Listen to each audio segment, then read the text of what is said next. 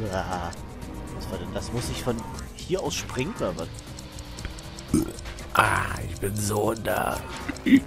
Was bist du, so nass? Na, Achso. war von dem einen gepanzerten Alien da der Spruch. Einen gepanzerten Alien? Oder ich krieg langsam Hunger. Wo du auch zuerst dachtest, der hat so gerülpst. Ja, das klang auch. Irgendwie die Stimmen klingen sowieso alle gleich. Irgendwie so ein bisschen. Vor allen Dingen Uka Uka und Crunch. Ubala. Nee, Akku Akku ist hier nicht. Ich sagte ja auch nicht Ugala oder Ugriba. Ich sagte einfach nur Ubala. No Yella ist hier auch nicht. Uri Geller ist auch nicht da. So. Da kommt dann wahrscheinlich auch die Abkürzung. Das Ja, aber das ein paar schaffe ich halt. Ja, mal gucken. Das schaffe ich halt.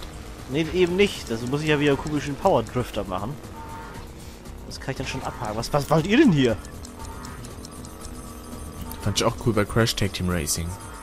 Da sind ja so zwei Moderatoren. Ja. Da hatte dann einer so gesagt, jetzt zeige ich dir, wie viel Spaß der Power Drift macht. Ganz genau, Chicky Baby. Upsala. Das war der Vibrationsalarm, wollte ich gerade sagen. Der Controller hat gerade etwas vibriert. Guck mal, wenn ich... Hier muss ich springen, ne? Tatsächlich. Geil. Richtig. Das ist ja geil. Seitlich springen. Finde ich irgendwie cool, die Idee. Er springt an der Wand. Und er landet wieder auf der Wand. Ey, die hättest du mitnehmen können, du Penner. I'm still landing. du Penner.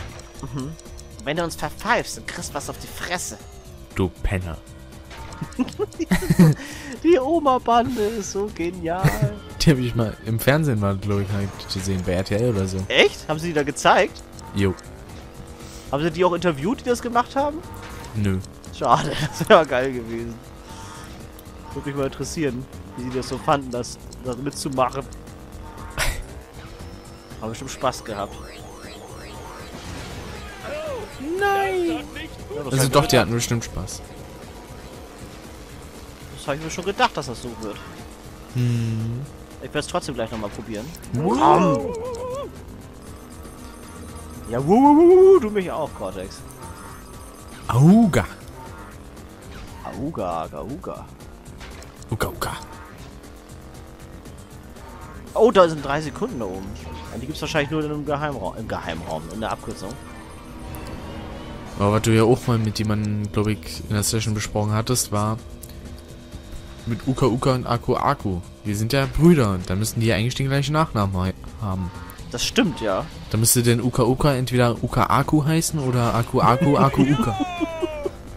Das ist schon eine geile Theorie, ja. Apropos Theorie. Ja. Hat ja Markus auch was äh, äh, Scheiße. gesagt, sag ich mal. Äh, Gesagt? Ja, was hat er denn gesagt? Nämlich über äh, das Dasein der Menschen auf unserer Welt. Gottes Ja. Willen. Seit wann ist der so philosophisch? Und hat dann nämlich bei Mario Kart 8 mal thematisiert. Nämlich, dass es da eine Theorie gibt, dass es schon quasi Urmenschen gab. Das Und ich muss mich mal kurz auf stumm schalten. Denn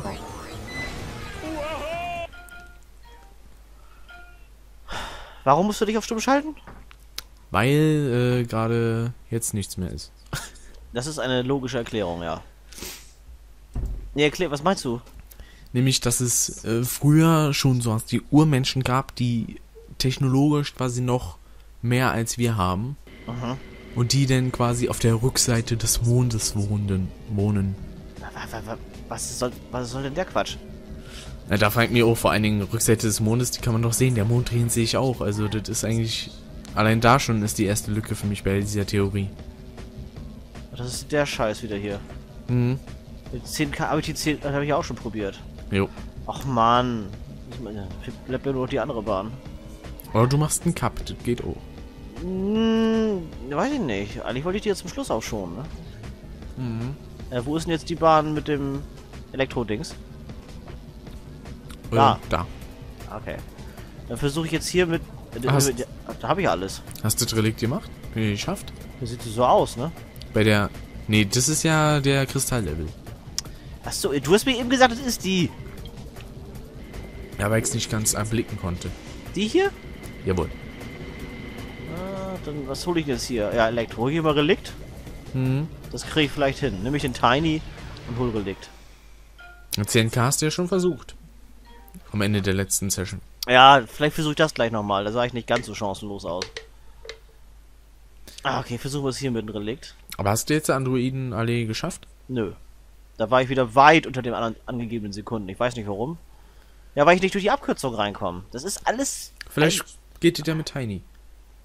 Ja, das kann ich gleich nochmal versuchen, weil der mehr höhere Geschwindigkeit hat, meinst du, ne? Richtig. Na gut, das probiere ich gleich nochmal. Das ist, ist eine Möglichkeit, ja. Könnte man versuchen. So. So Leute, es tut mir leid, dass wir hier gerade gar nichts mehr erreichen, aber ich versuche es, also ich bemühe mich.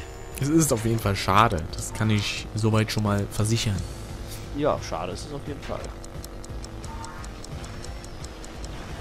So. Wollen wir mal gucken.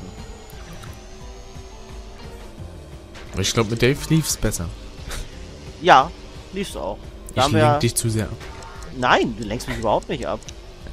Es ist einfach so, dass die Level ziemlich anspruchsvoll sind. Ach ja, an dieser Stelle mal eine Frage an den Dave. Ja, stell Wann kommt der. Song? Wann kommt der Song? Das ist ja keine Frage an den Dave, das ist eine Frage an mich. Nee, wann kommt der Udo-Song? Der Udo-Song, Ja. da weiß ich nichts von. Na doch, der Song äh, darüber, wie du Crash Bandicoot spielst. Aha. Da musst du ja, ja, da musst du Dave mal antworten. Da weiß ich jetzt auch gerade selbst nicht. Und das muss doch noch ein bisschen. Da naja, obwohl, das ist sagen. schon fast zwei Jahre her. Ne? Crash Bandicoot 1, da hat er als Udo gesagt, ey, mach hier mal einen Song darüber, wie du in Crash Bandicoot spielst. Ne? Aha, na guck mal an. Da siehst du, dann frag ihn mal. Hast ich ja. getan. Richtig. Hast du ja hiermit getan. Ja, und an solchen Stellen zum Beispiel habe ich direkt alle Kisten geholt. Ja gut, ich muss ja eh noch zweimal hier lang fahren, von daher ist es ja nicht wurscht. Es ist ja eigentlich wurscht, in welcher Runde ich die Kisten hole. Ah, ich mach nochmal. Macht das. Okay, komm. Upsala. Ist das ein Scheiß? Ubenaka. Was denn? Ubenaka. Ubanaka? Wer ist das? Jo. Das war von Banjo. Banjo? Mhm. Auch ein Spiel, beziehungsweise eine Spielereihe. Okay. Für den N64 und auch Xbox. Ach so. Kenn ich nicht. Das ist zum Beispiel so eine Reihe, da kennt sich der Markus echt gut aus. Aha. Da gucke ich mir auch gerade ein Let's Play zu an, weil ich das selber auch gerade so ein bisschen am Spielen bin. Das ist Jump and Run oder was? Richtig. Wo es dann auch jede Menge Sachen zu sammeln gibt. Zum Beispiel Puzzleteile und Ach, Puzzleteile Musiknoten wieder. Mit den Puzzleteilen haben sie es ja irgendwie. bei Rare, ja. Ist das auch von Rare oder was? Mhm. Ach, guck an. Ja, Donkey Kong Country Returns zum Beispiel oder auch Tropical Freeze sind ja von Rare-Mitarbeitern. Ja, eben, deswegen. Retro Studios, ne? Die haben ja auch zum Beispiel Metroid Prime gemacht. Aha. Ja, da kenne ich gar nichts von, von den Metroid-Spielen, muss ich sagen. Die ersten, die waren ja so Jump'n'Runs, aber ich, dann ich, kam ich habe mal eins für den Gameboy gehabt, ganz, ganz früher. Denn so am Gamecube, da gab es auch Metroid, aber das waren so Ego-Shooter. Aha. Aber die waren gar nicht so schlecht. Das ist dann Metroid Prime. Wenn du das sagst, glaube ich dir das. Oh, und da gibt's schon viel Zeit. Hä? Da gab's schon viel Zeit. Und ich glaube, wenn du so hältst mit äh, etwas unter einer Minute pro Runde, Ja, dann das Problem ist, dass die Dreierkisten ja nicht ewig hier bleiben werden. Ja, das stimmt allerdings. Ne? Aber dann kannst du ja jetzt in die nächste Runde, ich glaube auf der Bahn hast du jetzt ja alle Kisten, ne? Äh. Also auf dieser Turbobahn. Ja, ich habe beide Seiten abgeräumt, glaube ich. Und dann kannst du ja dann bei der nächsten Runde den Turbo direkt nehmen. Das mache ich auch. Da sparst du auch dann auch wieder Zeit, ne? Da hast du vollkommen recht. Oh, da waren noch drei Sekunden. Ja, Interessant. die, die hole ich mir gleich noch. Wenn ich dran denke, dass sie da waren. Das ist immer so eine Sache. Zur Not einigt dich Hier sind da. auch nochmal drei Sekunden. Ja, toll. Über die du drüber gesprungen bist. Hier sind auch nochmal drei, über die du nicht drüber gesprungen bist. Genau. Hier ist nochmal eine. Auch Kleinvieh macht Mist. Richtig. Hier müsste auch noch was sein. Dreier, die ich nicht gekriegt habe. Hier ist noch eine Dreier, die ich gekriegt habe. Jawohl. Und hier ist noch eine Zweier, die ich jetzt gekriegt habe. Also ist noch ein bisschen was da für die dritte Runde. So ist es nicht. Jo. Hier ist noch eine Einer, die nehmen wir noch mal gerne mit. Einen für den Weg. Genau. Das war aber Engine. Richtig. So, und hier wollen wir auch noch versuchen, die zu kriegen hier jetzt. Haben wir. Und hier nehmen wir noch eine Zweier mit. Jo, bis bei unter zwei Minuten. Ich glaube, dürfte eine. werden. Das wollen wir mal ganz stark hoffen, weil sonst kriege ich bald einen mittelschweren Anfall. Ja. Dann nehmen wir doch hier direkt die Dobebahn. Gab's ja auch eine Strecke, die so hieß, ne? Bei Crash Team Racing. Genau, aber die war ziemlich einfach. Mhm. Die Rutscharena war aber auch nicht gerade schwer. Nö, das ging, das ging. So, hier kam... Ah, das war die, okay. Hier könnte ich es ja vielleicht sogar hinkriegen, alle Kisten einzusammeln, normalerweise. Hm. Oh, jetzt kommt gleich die Stelle mit den drei Sekunden. Ja, ich weiß, überlegt gerade, wo die war. Hier, ne? Richtig. Ja. Sehr gut. Das können wir gleich wieder knicken. Ja, Oh, toll. nein. Verdammt. Oh Mann, sowas regt mich immer wieder auf, so ein Scheiß. Und Kotzen. Ja, aber echt da. Tiny Fliegen.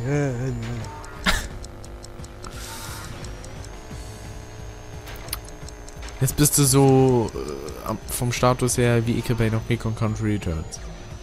Ist das so schlimm, ja? Also, ich hab's mir noch irgendwann mal nochmal angeguckt. Ich fand so schlimm war das eigentlich gar nicht. Da gab's Schlimmeres. Wie zum Beispiel bei Oddworld Apes Exodus. Das habe ich mir gar nicht komplett angeguckt bei dir auf Display. Och, Mann. Ne, das war ja, was ich dir und Dave, glaube ich, gezeigt hatte. Ja, dann, ja, Auszüge hatten wir gesehen, ja. Mit dem Slick. Mhm.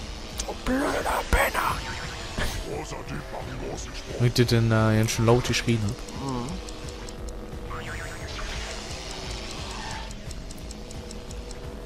Und das war, ja, das hat auch ein bisschen im Hals gekratzt. das Schreien, ja? Mhm. Da kam ich wie vor, ja. Ja, Gesundheit. Da kam ich mir vor, wie manche nach einer Gamescom. Da war ja der Markus O. Ja, habe ich gesehen, dass er da Videos von hochgeladen hat, aber das interessiert mich nicht so wirklich. Fand ich aber mal interessant. Da sieht Ja. man ihn denn auch mal wieder. Ach, war ja auch bei, ja? Mhm. Ich weiß gar nicht, wie der aussieht so wirklich. Irgendwann habe ich mir, glaube ich, mal kurz ein Bild von ihm gesehen, ja. Na, beim 100 Abonnenten-Special sieht man ja eins von ihm. Mhm. Da sieht er ja recht schlank aus. Ist aber mittlerweile nicht mehr so. Der mittlerweile auch ein bisschen zugelegt. Aha. So. Aber dadurch, dass es auch ein paar nicht gerade positive Umstände gab. Weil zum Beispiel, ich glaube, das war 2012, wo seine Mutter gestorben ist. Das ja, äh, da, da, da, trifft fand, da, natürlich. da fand ich das Video ziemlich krass, was er dazu gemacht hatte. Hm. Das fand ich echt krass. Und der Markus ist ja eigentlich unsympathischer. Ja, er übertreibt mir ein bisschen zu viel in seinen Videos. Teilweise. Boah, aber man kann sich dran gewöhnen. ja, ja, halt sowas mag ich halt nicht so gerne. Ne? Hat man lieber die Natürlichkeit eines Ja. Dennis. Ja, genau. Das ist so. Deswegen bleibt er auch eher mein Favorit, der Dennis. Und außerdem hast du ihn ja schon mal getroffen. Ja, Dennis ist cool. Ja. Und der ist halt auch so drauf in echt, wie er auch in den Videos ist. Mhm, ganz genauso. Der ist überhaupt nicht verstellt und das mag ich an ihm. Fand ich auch so cool, weil er gerade gespielt hat und dann, wo er so gesagt hat, zweifelst du etwa an mir, Alex? das war geil, ja. Da habe ich gesagt, ja.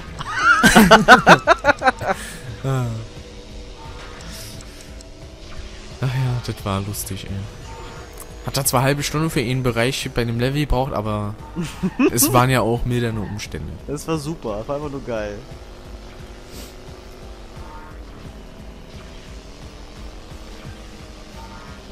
Aber er war ja nicht allein. Er war nicht allein, allein. Allein, allein. Ich hasse Polarkreis 18, ey. Ich hasse alles. Was aus, irgendwie so aus deutscher Quelle kommt, so halbwegs. Achso, dachte jetzt, du sagst einfach nur, ich hasse alles. Ich hasse alles und jeden.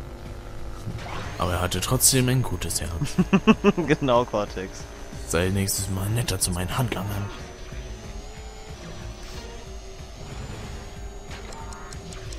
Durch euren Sieg über Tiny habt ihr das Tor zur nächsten Welt geöffnet.